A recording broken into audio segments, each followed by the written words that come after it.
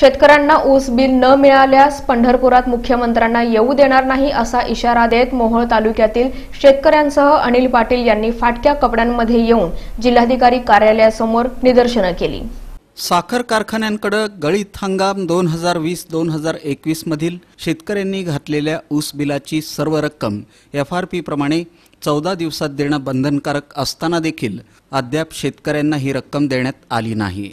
ही रक्कम पंधरा टक्के व्याजासकट शेतकऱ्यांच्या खात्यावर तात्काळ जमा करावी अशी मागणी करत मोहोळ तालुक्यातील शेतकऱ्यांसह अनिल पाटील यांनी फाटक्या कपड्यांमध्ये येऊन जिल्हाधिकारी कार्यालयासमोर निदर्शनं केली.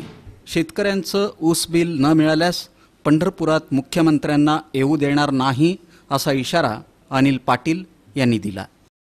मी आज भीमा कारखाना लोकमंगल कारखाना गोकुळ शुगर सगळे जे कारखाने पंधरा सोळा आहेत त्या त्यांनी एफ आर पी प्रमाणे पैसे दिले नव्हते आमचे. सात महिने झाले कारखाना बंद होईल. आमचे एफ आर पी प्रमाणे अजून त्यांनी पहिला हप्ताही दिला नाही या कारखान्याने.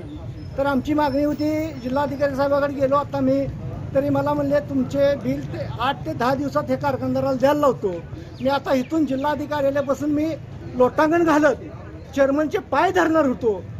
पाय धरल्यावर तर त्यांना चांगली सद्बुद्धी येईल आणि शेतकऱ्याची बिलं देतील. शेतकऱ्याची एवढी बिकट परिस्थिती झालेली आहे साहेब आज. आज मला कापडं घालायला नाही मी ही माझी परिस्थिती आहे. अशी सगळ्या शेतकऱ्याची परिस्थिती कुणाची आई करोनामुळं दवाखान्यात आहे कुणाचा भाऊ दवाखान्यात आहे. वाटतं ते खतं आणायची ऊसाला घालायची मोठ्या ऊस कसा घालायचा ही संकट शेतकऱ्यावर आहे. आणि कारखानदारांनी शेतकऱ्याचा पोतराजा केलेला आहे.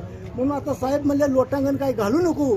मी तुला एक आठ ते दहा दिवसात बिल काढून देतो. जरी साहेबांनी नाही काढलं आठ ते दहा दिवसात बिल तर मुख्यमंत्री एकादशीला येणार आहेत. त्यांना पंढरपुरात सुद्धा मी घुसू देणार नाही. ही शेतकऱ्याची मागणी राहील. जोपर्यंत बिल मिळत नाही तोपर्यंत मुख्यमंत्र्याला पंढरपुरात घुसू देणार नाही